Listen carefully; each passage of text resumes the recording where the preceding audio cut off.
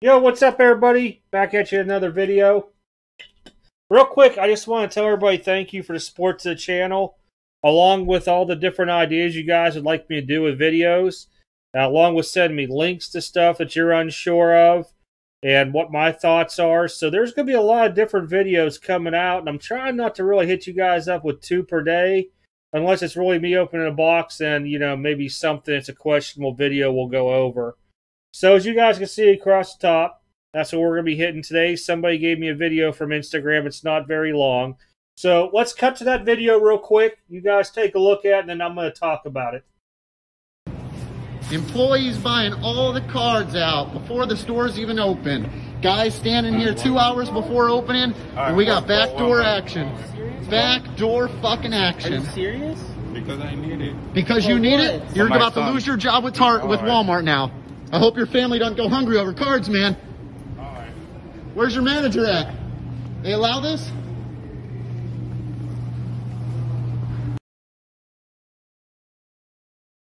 Yo, all right, we're back. We're back. Told you, real quick video, real quick video.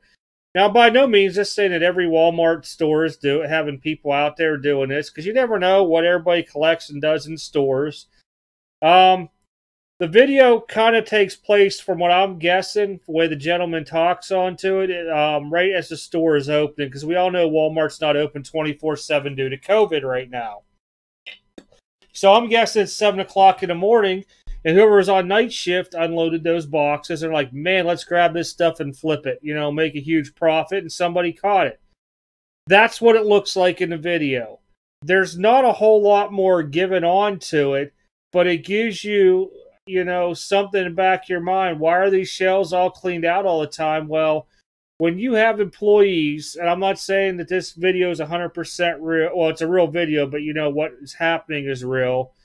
Um, they start seeing people buying all this stuff and then they're like man you're flipping it for how much so then they get they want to get their hands in the pot you know they want to get some money they see it come in they're grabbing it so instead of you know 10 guys fighting over all the boxes as soon as uh, mj holdings drops it off you know now we're starting to worry different ways and it's really affecting the hobby because you know there's a lot of people out there first off that can't afford hobby boxes they're brand new um, into the hobby. You know, it could be any reason at all. And I'm not going to be the person that says, you know, always buy hobby because I, you really, it's your better bet. But with the prices, it's hard. And trust me, I understand the frustrations of buying retail because usually if I have to rebuy into retail, it's either one I'm buying it from my distributor to keep what I get for very little allocation, or two, I know somebody and I'm only giving them I'm giving them a couple bucks for time and gas money and shipping. So occasionally I might get in a razz onto this stuff, but I will not pay, you know, full prices, you know, hundred dollars for a blaster box or whatever the heck their prices are. Um you know, it, it's it's really, really getting crazy out there, everybody. Um I just don't even know where to really tell people to go to look for product. I know people cannot afford hobby boxes. They were, you know, leaning on the retail because they want to have something to do with their kids and everything. Uh, well, I'm going to start trying to look to see, you know, maybe there's something out there that I could try doing as giveaways for you guys to where I'm not paying $100 for a retail box. I'll have to take a look at and see. Um, I, I know what you guys are frustrated just like me onto stuff like that that you go to the store, you know, a year and a half ago, probably, you used to be able to find them things just jam packed. And I used to always pick the stuff up. Now, I haven't seen retail packs in a Walmart or Target. I'm trying to think what the last thing I probably bought was that was basketball or football. Maybe Optic basketball?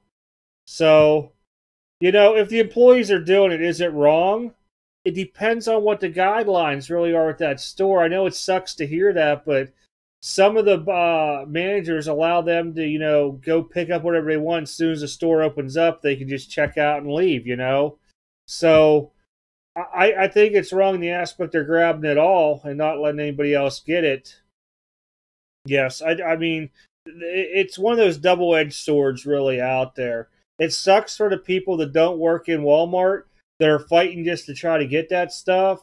at the same time frame, you know, you're going to have men in there and women and children fighting over as soon as MJ Holdings gets it in there. You can't even grab stuff. Guys are literally grabbing their hand and stuff and just tossing it all into a cart as quick as possible. It, it's really gotten out of hand. I know a lot of people agree with me. And I mean, if I went into a Walmart, this is no joke, and I grabbed, you know, all all the MJ Holdings stuff, I honestly would not sell it. I would either open it and then I'd probably use a lot to give away back to the channel and stuff like that, like I did in the past.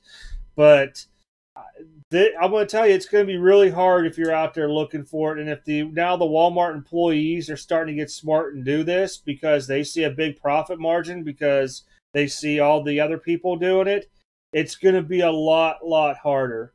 So, I mean, honestly, my questions for the video for you guys are Have you ever seen this happen before? Have you heard stories like that? I mean, I want to hear stuff in the comments. I'm really digging you guys leaving the comments because it's making me think. It's making me look at things in a different angle at the same time frame. You know, I'm learning some new stuff that I didn't know because I was, you know, maybe just not aware of it or I just been in such tight, close groups that we've never seen that stuff before. But this video is going to drop now. Uh, well, well, the day it drops was I was going to do another video out that day, guys, but I really wanted to hit this one up first. One, like I said, it's not my video, so it's not in my area for the WalMarts. And two, there's not a whole lot beside that small little clip they post on there. But it really makes you start wondering when you start running into guys all looking at retail and everybody's talking, I haven't seen here and I come four times a day or whatever. Maybe the employees are grabbing a hold of that stuff. I, I don't know. What do you guys think? I mean, honestly, put in the comments section. I want to hear. I, I'd like to see what everybody thinks because I don't know how much is being dropped off at these WalMarts for everybody to get. I'm guessing it's very little, um, just from those boxes that it shows uh, on there and stuff. So all right, guys, I do appreciate it again. If you notice, there was optic basketball in that guy's car too. But then again, I thought maybe it was an older video, and I saw that uh, hoop stuff too. So, but other than that, I do appreciate the support, everybody. Make sure you always leave a thumbs up. Throw some comments in the in the uh, in the video too, so that way I get stuff to look at and try to respond to, and just learn like everybody else does in the hobby with all the new changes that are coming out there.